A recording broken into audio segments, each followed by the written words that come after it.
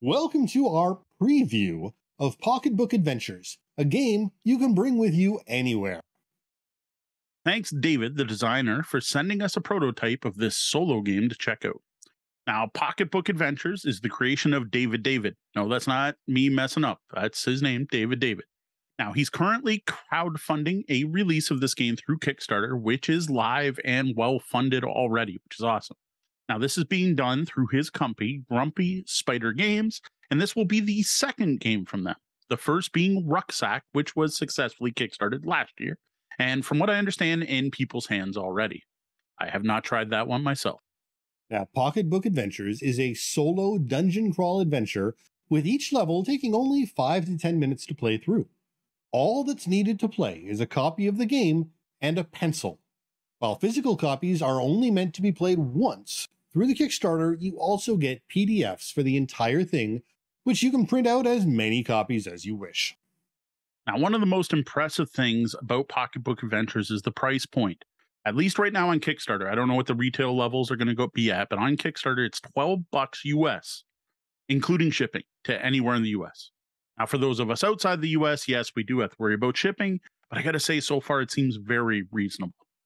Though, as we all know too well, shipping costs aren't final until you've received your package. Very true with Kickstarter. So, in Pocketbook Adventures, you're presented with a classic JRPG style map filled with terrain, treasures, uh, monsters, and an exit and a starting point. You start from the starting point and move orthogonally around the map, grabbing the treasures, battling monsters, and eventually leaving the map. You are then scored based on how many monsters you've killed, the amount of damage you've taken, and how many stops you made along the way. In addition, in between some adventures, you get to go to town, level up, buy items and weapons. At the end of each section of the adventure, there's also a interesting puzzle-based boss fight for you to get through. Now, due to our copy of Pocketbook Adventures being a prototype, we didn't do an unboxing video, though it ends up the production version is going to be very close to what we were sent. Yeah.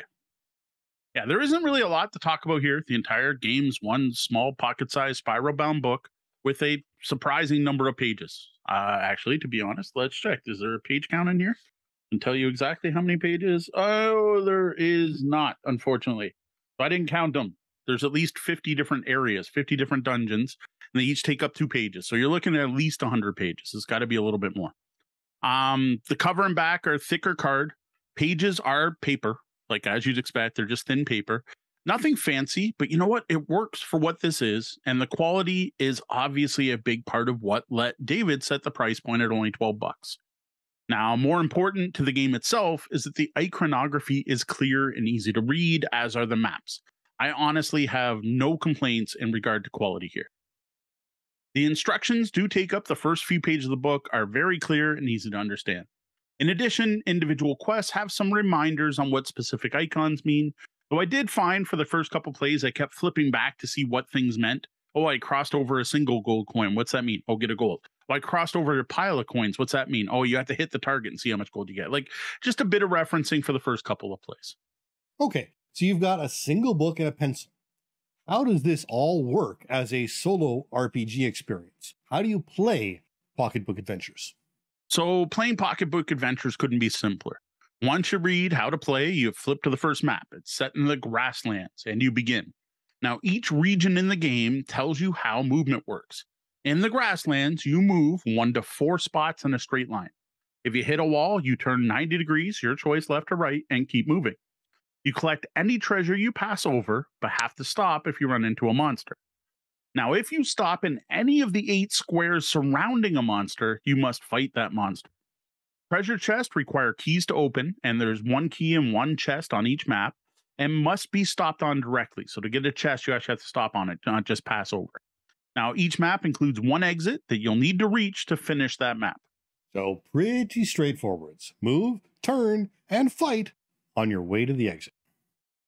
Now, treasure you can pick up includes gold, which you can spend later to buy healing items and weapons, hearts that heal you, heart containers that give you additional max HP and a total Zelda vibe, gold piles that reward one to five gold, and various items like remedies that heal status effects and pixie dust, which heals you. in general, you're going to want to try to pick up as much as you can before leaving a map. Uh, so, I mean, this is sounding pretty much like a paper version of Rogue, but without Yeah. monsters moving on their own. yeah, this there's definitely a very roguelike field, except obviously things aren't randomly generated. It- It's going to be the same every time you play through it, though you're only meant to play through it once. So I guess you're getting that rogue feel, and then every map's different when you flip the page. Now, combat in Pocketbook Adventures is one of the most unique and innovative parts of this game. Every monster on the map has a spot on the previous page showing the monster icon, as well as like a line on top of it with a dot. Underneath that is a bullseye style target below it. To attack, you put your pencil tip on the dot, close your eyes, lift up the pencil, and put it down onto the bullseye. You're going to take no damage if you hit the bullseye, one damage for every ring going outward. In addition, each monster has a special attack, and these are shaded in areas of the target, like the bullseye. If you point at one of those, you're affected by whatever the special attack is, which is spelled out on the page. Now, these special attacks include all kinds of fun things, some of which are permanent until you get to use a remedy to get rid of them. Early monster abilities can even help you. For example, the goblin that you fight in the first dungeon, if you hit a special, you scared him and he drops gold. The pixie, if you hit a special there, she heals you. Later monsters, though, are much more punishing, invite, inflicting statuses like sting. You get sting, tongue, sting, stung, stung. You get stung twice. You take three extra damage. And empty, which means you've got no will to fight and won't heal yourself while you're moving around. Well, that's certainly a fun and innovative resolution system. Mhm. Now, one very real possibility when playing pocket adventures, pocketbook adventures, is dying, but it's no big deal in this game. You either lose half of your collected gold or drop your weapon and items. You then go back up to full health, and the monster that killed you is still alive, so you're going to have to fight it again. There is no permadeath here in this game. Too bad fans of uh hardcore mode. but I'm sure you could really house rule your own if you really wanted permadeath. Yeah, there's a. I, I could totally see there being gamers out there who try to play through the entire thing without dying. I'm sure that's a thing. Now, once you finish a map by leaving out the exit, you then get a score. Uh, very this this reminds me of playing some type of app, right? You're going to get a bunch of stars. You're, uh, you're going to get up to three stars in three different areas with a maximum of nine points. The first is how many monsters you kill. Next is how much damage you took, with of course more stars for less damage. And last is how many stops you made on the map with a max score of nine. A pretty simple, some might even say simplistic scoring system. Uh, it doesn't really feel like there's a real range to compete against other players' scores here, though.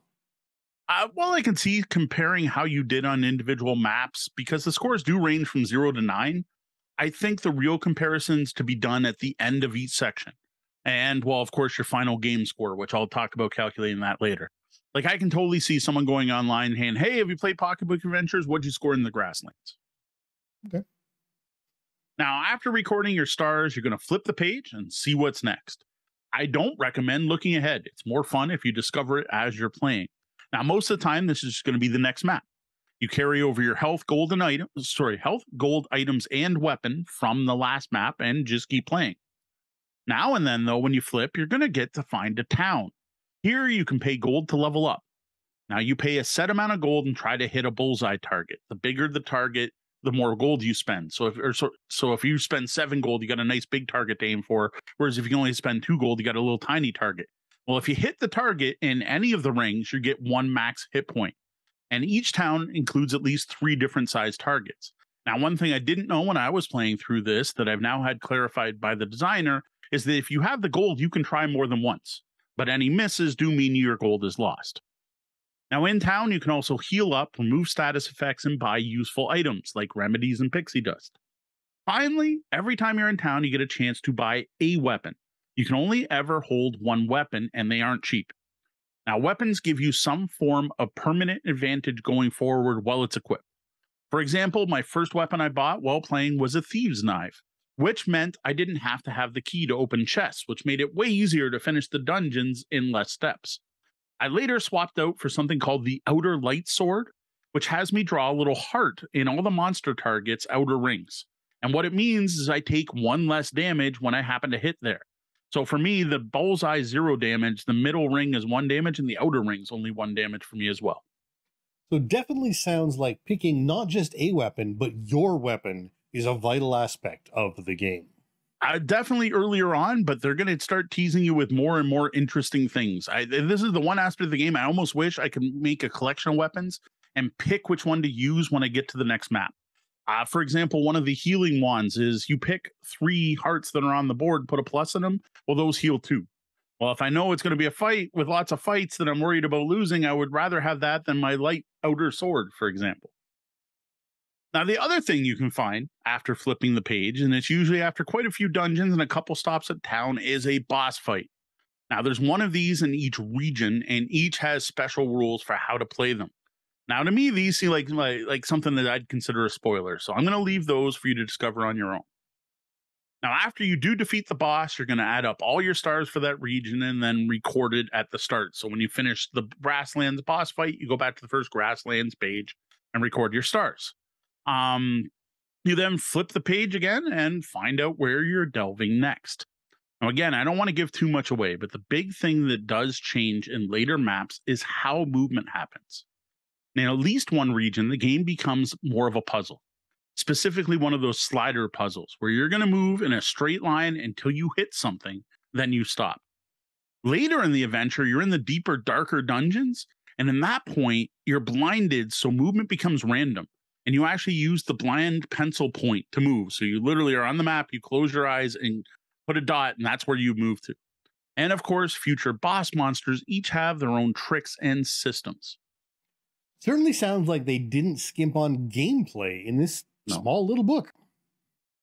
Now, once you finally do get to the end of the book, you total up all your scores for all the regions and you look up on a chart to get your title. Now, what you're getting is three different titles, three parts of your title and it's for each of the three things you're scoring, right? So there's a, there's a title for how many times how how you did in exploring, a title for or how much damage you took, and a title for how many monsters you killed.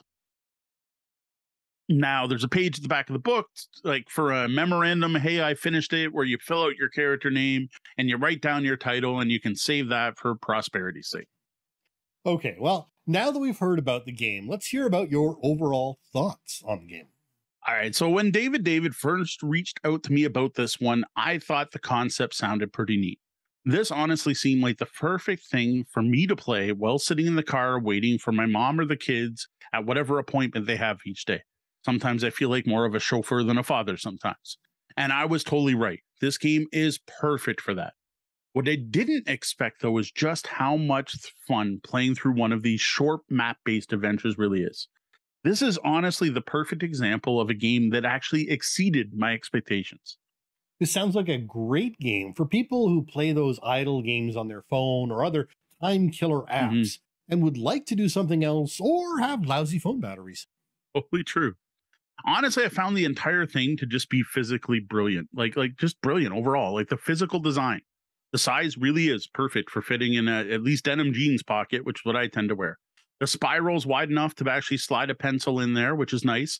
And the cover's just thick enough to protect the pages. Though what you want to do is leave it open on the last page you're on. That's not great because the paper's kind of thin. So you may not want to toss it in your pocket. You'll probably want to close it first. Now, I do wish the text was a little bigger. It's a little small, but I admit I'm aging and I have aging eyes, and that's not going to be a problem for everyone. Uh, there isn't really a lot you need to read once you're actually moving around on the map, though. So it sounds like they dropped the ball a little bit on having a you know custom divider or uh, something to keep your place. Uh, even yeah. something as simple as a small ribbon that you could tie off to the the rings to drop in. I guess that's easy enough to hack yourself and toss in. Plus, anything that up the price point, I wouldn't want to add to this. Like I say, I think the the real shining thing in this is the the amount of game you're getting for the price. As for the rules, they were perfectly clear. Uh, they made perfect sense reading through them for the first time. Uh, though I gotta say, they didn't really give me a good idea of how it would feel playing, just how engaging the game is. Like I'm reading, I'm like, yep, you, you move kind of like one of those puzzles. Oh, okay, that's neat. Yeah, I can see how that works. Oh, and if I pass over that, I get okay, that makes sense. But it's not until you actually play that you see how well that all works together. Right. Well, it's an interesting change from games that tend to oversell in the instructions. Yeah, true. This one This one sets the expectations really well. What really does shine here, though, is playing. Like, like actually playing through one of these mazes. Uh, the mechanics here just work, and they work perfectly. Like the movement system is brilliant. And I got to say, if it's David David or if he had some help, whoever designed those maps did a great job of putting things in just the right spot. So there is generally an optimum way to move. I also liked how the difficulty ramped up. Like at first, it was really easy to get under the the stop steps. Like what I I, I like I did this in 16 and I had 22 steps for three stars how could you take so many more? And while at first you're like, oh, I only have to kill seven monsters, there's like 12 on this board. So I got to pick and choose. But then later on, like one of the, the thing I now do when I go to a new map is I go, okay, what's the what's the kill target? Okay, I have to kill 10 monsters. How many monsters on the map? Crap, there's 10 monsters on the map. So to get max points, I got to kill them all. And then it started getting a lot harder on the getting out in time. Uh, one of the key rules is if you go back to a spot that doesn't count, it's the number of spaces you stop on, not the amount of stops. So I definitely got better at backtracking while playing this game.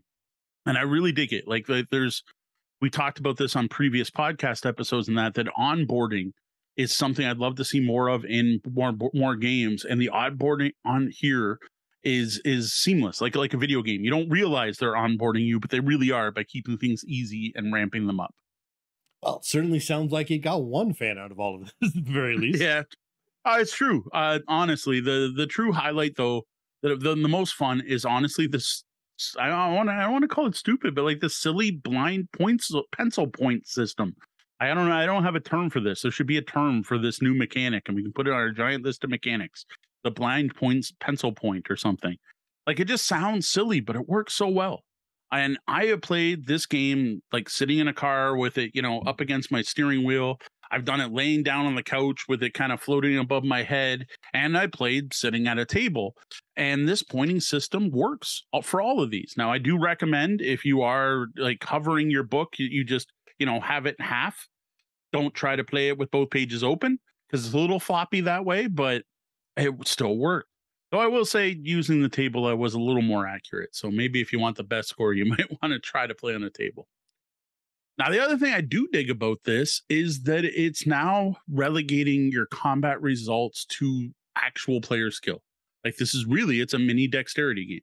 And I think I prefer this to say the randomness of dice. Because I gotta say, I have been way happier and shouting out loud for hitting a bullseye when I only have one health left and I can remember ever being happy, say, rolling a 20 in a game of D&D at the right moment. And I think it's because I know I did it. I pointed that pencil. Look, I nailed it. I got that bullseye. And actually, if you watch the video on their Kickstarter page, they highlight a bunch of people playing the game that are either hitting or missing right on and their reactions. Like I literally shouted out enjoy in my car in line for the kiss and ride at my daughter's school and got a bunch of sidelong glances from the other parents at the time because I was so happy that I survived a particular attack. Now, that being said, I suspect that this does, to a small part, limit those who will find this game playable. Certain limiting abilities may impact your ability to perform this accurately, while rolling a dice might not be an issue. If you do have any sort of grasping or dexterity control issues, this may not be right for you. Yeah, actually thinking about that, it's kind of sad they didn't give you an alternative system just in case, because like we personally know a player who would not be able to play this game because of handshaking issues. And and I can totally see that, which is something as an able person I didn't even consider.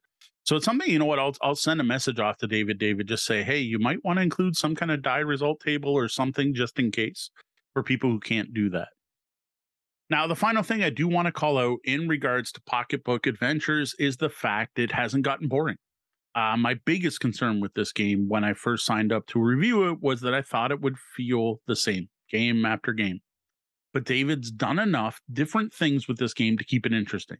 Now, this includes different monster types and terrain on different maps. Not once is the same set of three monsters you're facing uh, the various different status effects that the monsters do, and then later in the game, completely different movement systems and the unique boss fights.